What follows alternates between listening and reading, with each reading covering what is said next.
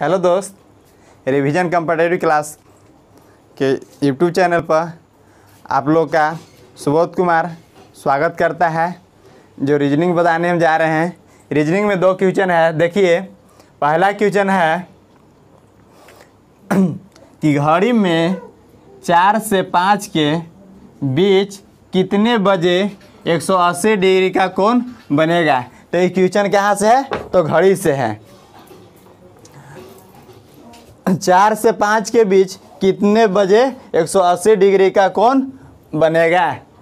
तो इसका फॉर्मूला होता है पहले, देख लीजिए।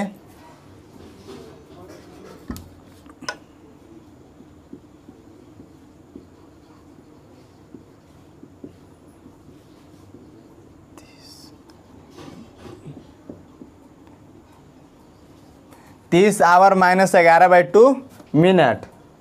तो अब बैठाइए फार्मूला पर। चार बजे से पूछा चार से पाँच के बीच ना? तो यानी चार लेंगे पहले। तो तीस गुने कितना आवर? आवर कहे तो घंटा है, यानी चार। माइनस ग्यारह बाई टू मिनट। अब बोला है क्या 180 डिग्री का कौन बनेगा? तो प्लस 180 डिग्री कीजिए। ठीक है? अब गुना कीजिए। चार तिये बारह यानी तीस में चार से गुना कीजिएगा तो एक सौ बीस माइनस ग्यारह बाई टू मिनट प्लस एक सौ अस्सी डिग्री। ठीक है? तो माइनस को ए साइड लेके आइए, यानी बराबर में। ग्यारह बाई टू मिनट अब जो प्लस माइनस में है तो अगर बराबर के साइड ले जाइए, क्या होगा? प्लस में 180 डिग्री प्लस 120 डिग्री। तो ग्यारह बाई टू मिनट यानी 300 डिग्री। हो गया?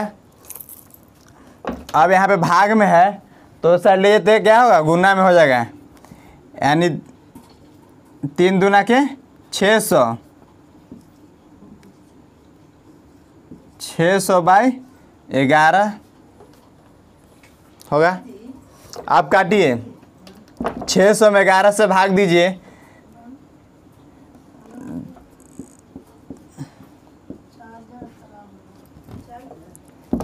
ग्यारह, पचे, पचपन। क्या, पाँच? ग्यारह, चौवालीस। छः बचेगा? ज़ीरो। ग्यारह पचे। पचपन, यानी नहीं कटेगा। तो यानी छः बाई ग्यारह। यानी चौवन पूर्णांक छः बटे ग्यारह। हो जाएगा। तो कितना बजे बोला था? चार से पाँच के बीच ना? तो क्या होगा इसका आंसर होगा? चार बजकर पूर्णांक चौवन बटे सिक्स बटे ग्यारह, क्या होगा? आंसर हो जाएगा। तो आंसर क्या है? ए में है।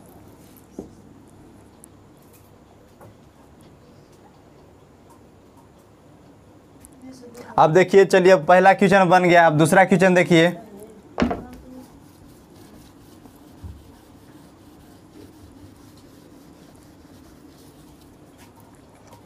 कहता दूसरा क्वेश्चन निम्नलिखित समीकरण को सही बनाने के लिए इसमें किन दो चिन्हों को एक दूसरे से बदलना होगा?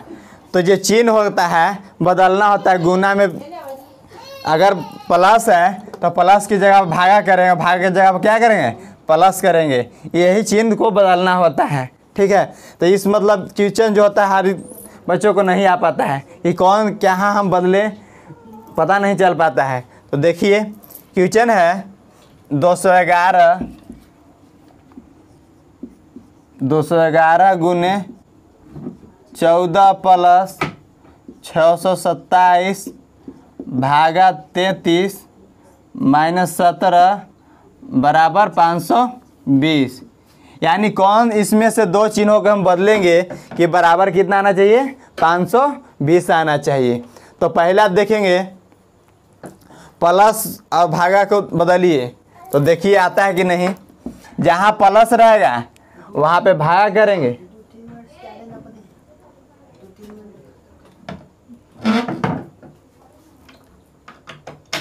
तो पहले क्या देखेंगे कि ए प्लस को भाया रखेंगे, भाया को प्लस में रखेंगे। तो मतलब यही चिन्ह को हम बदलेंगे कि यहाँ पे इतना करते हुए इतना 520 आएगा कि नहीं। तो पहलिका में तो ए में नहीं आएगा, बी में आएगा, देखिए बी कैसे आएगा।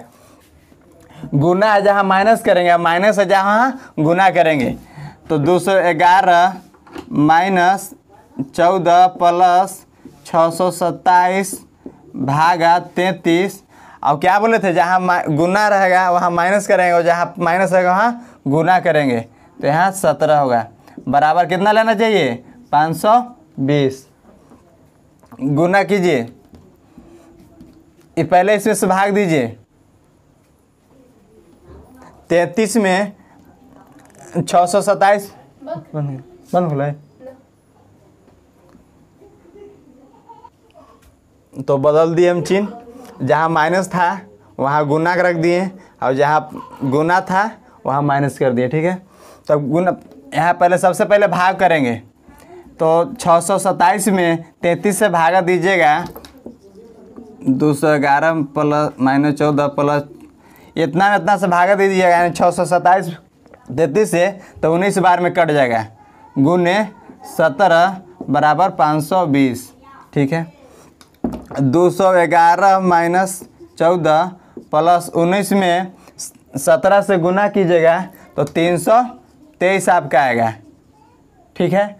बराबर पाँच सौ बीस आना चाहिए। ये दोनों के जोड़िए। तो पाँच सौ क्या होगा चौंतीस होगा। तीन दो पाँच। सौ ग्यारह तेईस, पाँच सौ चौंतीस, माइनस चौदह, यानी कितना हो जाएगा? पाँच सौ बीस हो यहाँ पे होगा बराबर साइड। तो इसमें से घटाइए, पाँच सौ बीस, यानी पाँच सौ बीस बराबर पाँच सौ बीस। तो ये आ गया ना, दोनों बराबर, पाँच सौ बीस बाई बीस। तो यही मिला, देखना होता है कि कौन चिन्ह को बदलेंगे कि दोनों साइड बराबर आना चाहिए। अगर मेरा वीडियो अच्छा लगा होगा तो लाइक और सब्सक्राइब ज़रूर करें और कमेंट बॉक्स में बताइएगा। कि कैसा क्वेश्चन था।